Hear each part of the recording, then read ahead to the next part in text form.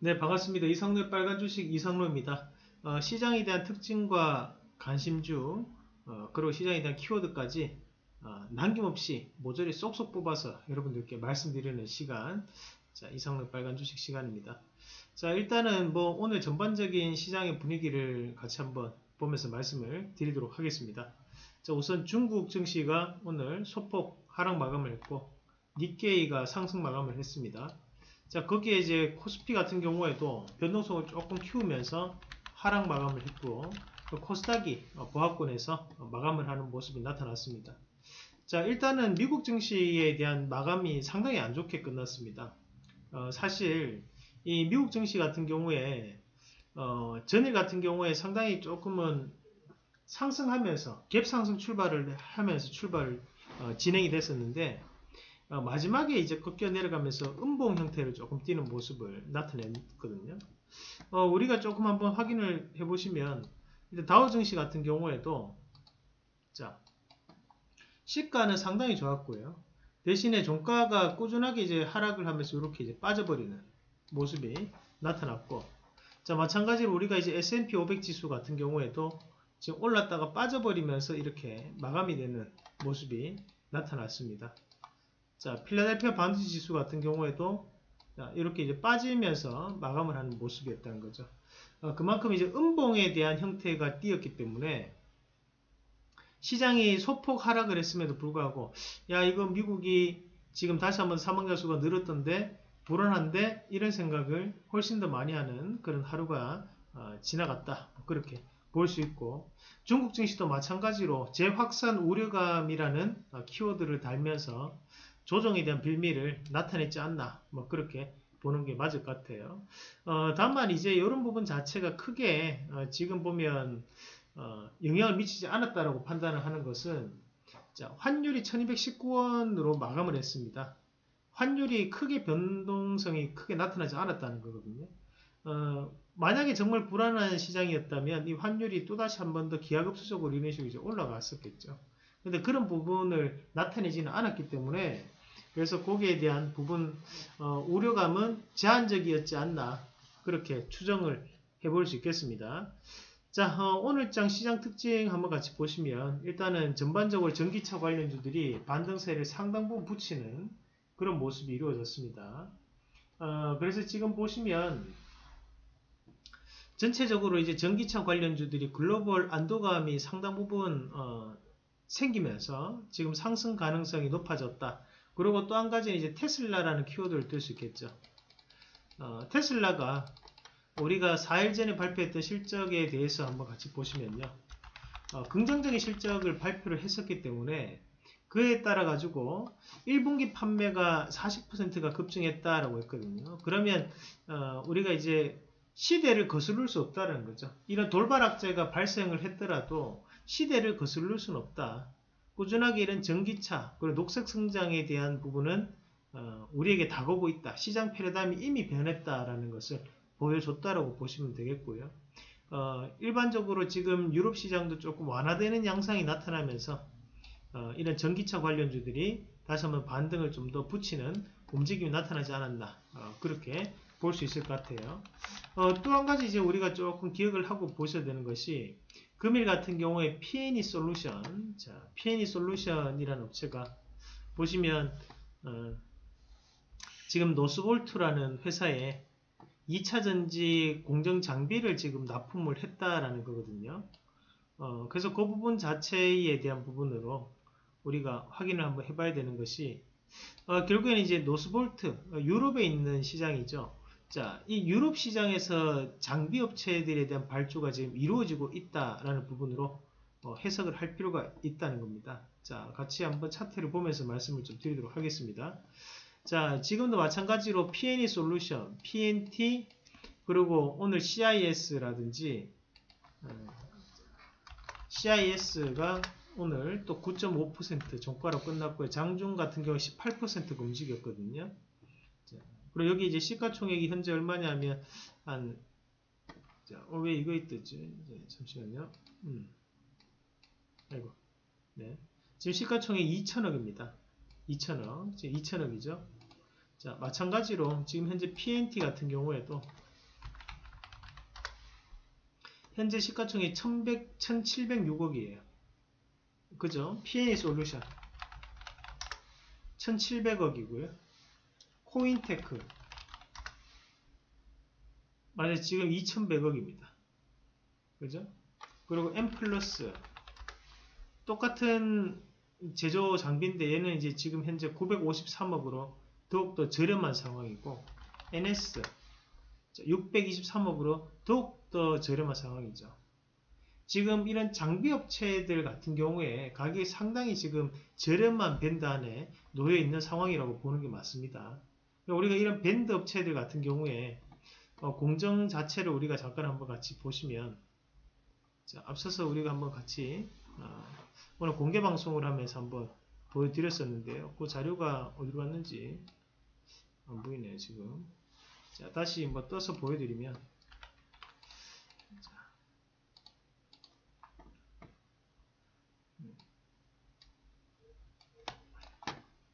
어, 조금 네 이거죠. 그러니까 지금 현재 우리가 이게 2차전지 장비 공정에 대한 부분인데 전국 공정에 해당하는 부분 자체가 뭐 CIS나 또는 PNT 뭐 이런 기업들이 최근에 이제 주가가 좀 더 시가총액 높게 형성되어 있는 거고 지금 NS, DA 테크놀로지, M 플러스 그죠?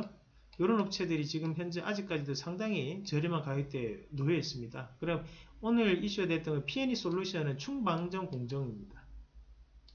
지금 보면 NS라든지 지금 M 플러스도 같이 계속적으로 어, 공정 자체가 섞여 있는 상황들이기 때문에 실질적으로 같이 움직이고 있다고 봐야 돼요. 그러면 지금 2차 전지 관련주들보다 2차 전지 관련주들보다 좀 더 강하게 움직이는 것이 장비업체들이라고 봐야 되는 겁니다. 그러니까 지금 현재 장비업체들은 오늘 뭐 DNA 솔루 DNA, DA 테크놀로지 같은 경우에도 지금 바닥에서 어느 정도의 지금 반등을 조금씩 붙이고 있는 그런 과정이거든요. 그래서 최근에 조금 엄청나게 많이 빠졌습니다. 하지만 지금 조금씩 조금씩 이제 돌아서 올라오는 시점이기 때문에 우리가 이런 기업들도 조금 기억을 하시면서 볼 필요가 있다는 말씀도 함께 드리도록 하겠습니다. 자, 어, 그러면 지금 이런 전기차 관련주들 같은 경우에도 앞으로에 대한 변화 가능성은 있다고 봐야 되죠. 다만 어, 일전에도 말씀드렸지만 어, 유럽 시장이 회복을 해야지만 올라갈 수 있는 것이 바로 전기차 시장입니다. 그렇게 판단했을 때 지금 당장 이 전기차가 이제 급등을 했다고 해서 추가적인 상승이 또 곧장 뭐 이어질 수 있다. 뭐 그렇게 보는 것은 조금 저는 어렵다고 판단하고 오히려 조금 쉬어가는 과정이 좀 더 연출되지 않을까. 그래서 시간적인 부분이 필요하다는 말씀도 함께 드리도록 하겠습니다. 어, 물론 이 전기차 관련주들이 앞으로도 상당 부분 움직일 가능성이 높습니다. 어, 그렇지만 그렇지만 어, 실질적으로 이제 그 전기차 관련주들이 지금 오늘 시세 크게 냈기 때문에 유럽 시장이 정상화되기 전까지는 조금 힘들다고 봐야겠죠. 어, 사실 이제 유럽 시장 자체가 전기차 시장에 대한 계약기를 형성하면서 지금 이런 테슬라에 대한 주가, 주가라든지 2차 전지에 대한 주가를 올렸던 거거든요. 그런데 지금 유럽 시장 아직까지는 어, 지금 돌발적인 악재를 벗어나지 못했다. 어, 그래서 장기간 시간이 소요가 된다. 그래서 추격 매수는 어, 조금 우리가 자제하는 전략으로 말씀을 드리도록 하겠습니다. 자, 그리고 두 번째, 이 내용을 조금 중요하게 봐야 되는 별표 3개 합니다. 상당히 오늘 이 내용이 좀 중요할 것 같은데. 자, 빚내서 주식 투자가 급증하고 있다. 시장이나 고점 시그널인가? 라는 부분인데, 자, 실질적으로 지금 우리가 한번 같이 보시면, 신용거래 융자, 뭐, 빚내는 투자죠. 보면, 지금 유가증권 시장에서도 그렇고, 계속적으로 금액이 올라가고 있어요. 코스닥도 그렇고. 예, 지금 3월달 26일을 저점으로 시작해가지고 다시 한 번 더 이런 융자 금액이 늘어나고 있는 시점입니다. 차트만 떼서 좀 더 자세하게 보시면 자, 앞에서 반대 매매도 상당 부분 있었죠. 급락을 하면서 터져버렸고 지금 기점 자체가 요, 이 시점을 기점으로 해가지고 다시 한 번 더 돌아서 올라가는데 자, 요 날짜가 한 20일에서 21일 정도 됩니다. 한마디 바닥을 찍고 넘어올 때 개인 투자자들도 상당한 빛을 내서 지금 투자를 하고 있는 어, 그런 상황이 지금 연출되고 있다라고 봐야겠죠. 그래서 이런 과정 자체를 감안한다면 어, 지금 지수도 한번 같이 다시 보시면 어, 요건 이제 코스피 지수인데요. 어, 코스피 지수 같은 경우에도 지금 신용 물량이 이제 줄면서 쭉 빠졌고, 그죠? 지금 다시 한 번 더 올려냈지만, 음, 여기에서 이제 곧장 올라가는 것은 조금 부담이 될 수 있거든요. 아무리 봐도. 그래서 우리가 여기서 뭐 급하게 막 뭔가를 이제 쫓아가는 매매보다는 이제 하락할 때마다 분할 매수 관점으로 좀 더 접근하시는 게 맞지 않나라는 말씀도 함께 드리도록 하겠습니다. 자, 계속 이어서 보겠습니다. 음, 그래서 오늘의 주도 패턴을 같이 한번 보시면 주도주 종목군들 어, 정리를 한번 해봤었는데요. 오늘 상한가 목록 잠깐 보도록 하겠습니다. 어, 일단은 뭐 서울리거, 뭐 페이퍼 코리아 국제약품 총 7가지 섹터군이 지금 오늘 상한가를 갔고 그만큼 상한가를 갔다는 것은 강한 움직임이 나타났다라고 볼 수 있습니다. 일단 뭐 서울리거 같은 경우에는 오늘 방호복에 대한 공식 공급사로 지정이 되면서 어, 오늘 상한가를 도달했는데 어, 사실 이제 이 서울리그 같은 경우에는 주가 자체가 어, 뭐 저가군역에서 지금 그냥 이렇게 한번 쳐주는 그런 역할을 한 거지 우리가 이것을 막 엄청나게 뭔가 이제 붙어서 올라갔다 뭐 그렇게 보는 것은 조금 어렵습니다 사실. 그죠 좀 더 키움 차트로 자세히 볼게요 네. 보면 125일선 밑에서 지금 뭐 저렴한 가격대에서 네, 그죠? 거기서 한번 쳐 올려주는 거고 어, 마찬가지로 457억이면 우리가 크게 어, 상대하기는 힘든 주식이다. 어, 그렇게 보시는 게 맞을 것 같아요. 그래서 관심을 안 가지시는 게 낫다라는 말씀을 드리고요. 자, 추가적으로 또 계속 같이 보시면요. 그 다음에 오늘 또 상한가 갔던 것이 어, 지금 페이퍼 코리아 자, 페이퍼 코리아 같은 경우에도 오늘 상한가 간 것이 생활용지 수출 요청에 대해서 어, 지금 오늘 상한가를 갔는데 자 마찬가지로 지금 473억짜리거든요. 그러면 크게 우리가 눈여겨보실 필요는 없는 종목입니다. 사실 이런 종목으로 매매하기 상당히 어렵다라고 봐야 되고요. 그래서 큰 어, 만약에 이게 진짜 상한가였다면 이 종목뿐만이 아니라 우리가 생활용지니까 한솔 재지라든지 또는 무림 페이퍼도 상당부 움직였어야 되는데 그런 움직임 자체는 나타나지 않았거든요. 그 부분 자체를 감안한다면 어, 우리가 요거에 대한 부분 자체에서도 연속적인 시세는 조금 어, 연출되기 좀 어렵지 않나 그렇게 보는 거고요.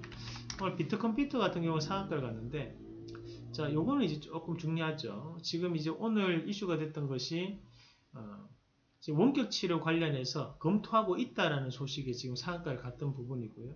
사실 해외 같은 경우에는 원격 진료가 상당부 활발화되어 있습니다. 근데 이제 국내 같은 경우에는 지금 우리나라는 이제 병원 협회에서 이제 반대를 했고 한의원 협회에서는 지금 찬성을 해서 한의원 협회만 일부 원격 진료가 가능한 그런 현재 상황입니다. 그럼 앞으로에 대한 개선 가능성이 있다라고 지금 시장은 보는 것 같고요.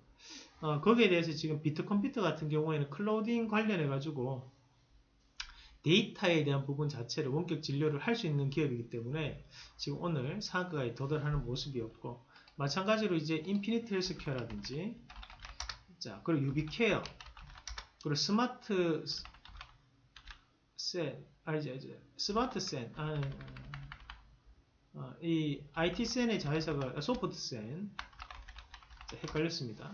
자 이런 업체들이 오늘 상당히 강한 흐름이 나타났다. 뭐 그렇게 볼 수 있습니다. 자, 그래서 이런 업체들이 있는데 어, 1등은 뭐 지금은 비트컴퓨터라고 봐야겠죠. 그만큼 상당히 강한 흐름. 그리고 2등은 인피니트고요.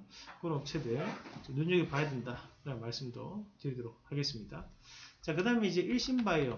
일신바이오 같은 경우에 혈장 치료 관련해가지고 오늘 상한가를 갔는데 뭐 일신바이오 같은 경우에 전일 방송에서도 언급을 했던 추천해드렸던 종목이죠. 뭐 상한가까지 한 번만 이제 달성이 되는 모습이었고 그만큼 이제 일신바이오는 이 방송을 통해서도 많은 말씀을 드렸습니다. 그래서, 그래서 앞에서 한 번에 큰 시세를 내고 그 다음에 여기서 이제 돌파를 하지 못하고 오히려 이제 빠져버리는 모습이 나타났고 이번에 올라왔는데 이번 상승은 좀 눈여겨봐야 되겠죠. 앞에서 왜냐 여러 번의 실패를 했기 때문에 지금 실적을 동반해서 올라가는 시점이라고 봐야 됩니다. 어, 좀 더 긍정적인 변화 과정이 나타날 수 있다라는 부분으로 보실 필요가 있고요. 자 그리고 에스코넥, 에스코넥도 오늘 갔는데 에스코넥은 KH마텍에 대한 힌지가 KH마텍에 공급을 하는데 그에 대한 부분 자체를 에스코넥과 그리고 서진 시스템이 나눠서 할 수 있다라는 루머가 있었습니다. 그에 따른 부분에서 반등이 크게 나타났고 어, 그뿐만이 아니라 에스코넥이 이제 일자리 관련주로 편입이 되어 있는 상황이기 때문에 그 부분도 조금 영향을 미쳤던 것 같아요. 뭐 윌비스도 같이 움직였던 걸 판단한다면 사람인 HR 같은 경우에는 오히려 조금 빠졌습니다. 그래서 지금 에스코넥만의 어, 이런 개별적인 움직임이 좀 이루어진 거 아닌가. 그래서 많이 빠졌던 부분에 대한 반등세도 일부 붙었다. 뭐 그렇게 볼 수 있겠습니다. 자, 그리고 지금 우리가 이제 국제약품도 오늘 상한가 갔죠. 자, 국제약품은 아지트로마이신이라는 치료제에 대한 기대감이 지금 현재 작용하고 있으면서 반대 크게 올라왔어요. 어, 그래서 지금 국제약품뿐만이 아니라 뭐 우리들 제약도 함께 엮이는 모습이고 뭐 대웅제약도 얘기 나오거든요. 하지만 이건 이제 큰 종목이다 보니까 움직임이 크게 없는 것 같고요. 우리 제약 같은 경우에 조금 빠져있던 부분에서에 대한 반등세 그런 부분 자체가 연속적인 반등을 좀 더 이루는 움직임이 아닌가 어, 그렇게 볼 수 있습니다. 음, 결국 지금 시장을 오늘 시장을 통틀어서 보더라도 어, 이런 상하과 같은 종목군들이 대부분 다 아직까지도 어, 돌발악재, 코로나에 대한 이슈로 인한 상한가를 가는 종목군들이 많습니다. 뭐 그거 아니면 지금 큰 이슈가 지금 시장에서 되지 않는다라고 봐야겠죠. 어, 그만큼 오늘 뭐 전기차 관련주도 반등이 나타났고 5G도 일부 반등에 성공했고 수주차도 반등에 성공했지만 아직까지는 이런 종목군의 낙폭과대에 의한 반등이라고 봐야 되는 거고요. 실질적인 시장에서의 상당한 상승을 주도하고 있는 것은 어, 지금 현재는 코로나 관련된 부분이라고 봐야겠죠. 그래서 이런 돌발적인 악재에 대해서 지금 시장 자체는 좀 더 수급적인 부분이 쏠려 있다. 뭐 그렇게 정리를 할 수 있겠습니다. 그래서 지금 오늘 장 후반에 뭐 진단 키트 관련주들 반등을 조금씩 붙이는 모습들이 나타났는데 어, 내일도 여전히 시장은 양극화에 대한 움직임이 나타날 가능성이 높다. 그래서 경기 민감주도 움직이겠지만 단 한편으로는 돌발 악재에 대한 관련주들도 함께 움직일 수 있는 그런 시장이 펼쳐질 가능성이 높다라는 부분까지 말씀을 드리도록 하겠습니다. 자, 그럼 내일장 관심주도 한번 같이 보실 텐데요. 우선 일단은 오버 반도체 어, 전일 했던 종목이 어, 우리가 이제 셀리버리 했죠. 셀리버리. 셀리버리 같은 경우는 오늘 변동폭이 상당히 생겼습니다. 장중에 뭐 시가에서 고가까지 약 7% 정도 반등이 크게 나타나면서 신고가를 오늘 형성했었는데 이건 이제 신고가를 찍고 난 다음에 거기에 대한 매물을 지금 일부 차익 매물이 나왔다고 봐야겠죠. 또다시 한번 쉬고 또다시 한번 또 넘어갈 수 있는 그런 흐름이 나타날 가능성이 높다라고 어, 판단합니다. 그리고 뭐 WI 같은 경우에도 소폭 반등하는데 그쳤던 모습이었고 자 그래서 오늘 관심주도 한번 같이 보시면 일단 오버반도체하고 세운메디칼 같이 보시겠는데요. 자, 어부 반도체 같은 경우에는 우리가 어, 이제 시스템 반도체라고 흔히들 얘기합니다. 이 업체가 MCU라고 해서 micro controller unit, 뭐 냉장고나 세탁기 같은 데 보면 액정 표시가 이렇게 된 거 보이실 거예요. 액정 표시 장치. 요거를 해당하는 반도체를 만든 업체가 어보브 반도체예요. 기술적인 부분을 보유하고 있는 업체, 국내 유일 업체라고 보시면 되고 이런 것들이 대부분 다 외산입니다. 어, 그래서 국산화 수혜도 될 수 있는 종목이죠. 어, 지금은 주가가 조금 과도하게 조금 빠져 있다고 판단하고 추가적인 상승을 좀 더 붙일 여지가 높다라고 어, 말씀을 드리도록 하겠습니다. 자 그리고 세운 메디칼 최근 이제 의료용품에 대해서 지금 부족 사태가 계속적으로 나타나고 있는 상황이기 때문에 좀 더 강한 상승을 좀 더 동반할 가능성이 높다라고 보고요. 이 종목도 함께 말씀을 드리도록 하겠습니다. 자 그리고 어, 세 번째 이제 비트 컴퓨터인데요. 앞서 지금 원격 진료 관련해 가지고 대장주 역할을 하는 기업이고 물론 오늘 상가를 갔지만 추가적인 상승 가능성이 높다고 보고 이 종목도 꾸준하게 관심을 가져보자라는 말씀도 어, 드리도록 하겠습니다. 자 오늘 공개 방송을 진행을 했었는데 저희가 이번 주까지만 스마트 밴드에 대한 할인 이벤트를 어, 진행을 합니다. 저희가 다음 주 목요일하고 금요일은 교육에 대한 어, 교육 일정이 잡혀 있기 때문에 어, 그 교육 일정에 맞춰 가지고 또다시 여러분들을 만나 뵐 수 있을 것 같습니다. 그래서 그에 따라 할인 이벤트를 진행을 할 예정이고요. 4기 교육 때 우리가 2월 말에 어, 교육 때 제약 바이오를 사야 된다. 제약 바이오를 반드시 관심 있게 봐야 된다는 말씀을 드렸었고요. 그래서 그런 제약바이오 섹터군이 지금 엄청나게 상승을 하면서 큰 수익을 내는 모습이 나타났고 그리고 그때 제약바이오 추천주 두 가지를 했던 것이 하나가 이제 SD팜이고 두 번째가 이제 어 아직까지 시세가 다 나진 않아요. 13%가 올랐는데요. 요 종목을 했습니다. SD팜 같은 경우에는 뭐 지금 바닥권역부터 105% 정도 났고 그 전에 37%가 또 급등하는 모습 보였습니다. 제가 유튜브 방송에 별표 3개를 많이 쳤던 종목군이죠. 그만큼 상당히 중요한 종목이었는데 뭐 요거 소개를 하면 손절 거 없이 대응해야 된다는 말씀도 드릴 정도였고요. 아, 그래서 요번에 메가 트렌드 5기 교육을 또 진행을 하는데 4월 16일에서 17일 양일간 진행을 하고 어, 그 교육에 대한 커리큘럼을 이렇게 어, 짜서 진행을 합니다. 그래서 초보분들부터 시작해서 주식을 조금 아시는 분들 대신에 기준이 잡혀있지 않는 분들은 한 번씩 들어보시면 특별한 수강 혜택도 이번에도 받아갈 수 있으니까요. 어, 스마트밴드 할인 쿠폰은 중복 할인이 또 됩니다. 어, 그래서 그런 부분 어, 혜택을 지금 많이 드리고 있으니까 요 내용 참고하셔서 진행을 한번 해보시기를 바라겠고 어, 스마트 밴드는 이번 주까지만 할인 이벤트가 진행된다는 점도 한번 말씀을 드리도록 하겠습니다.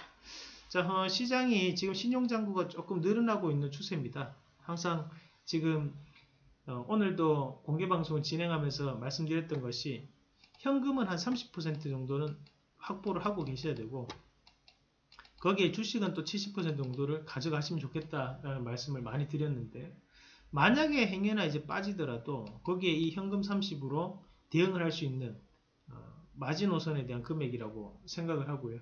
시장은 지금부터는 조금 빠질 때마다 어, 조금씩 담아가면서 어, 좀더 시장에 좀 참여할 수 있는 어, 그런 움직임을 좀 나타나셨으면 좋겠고 현금 30%는 반드시 확보를 하면서 보시면 좋을 것 같습니다.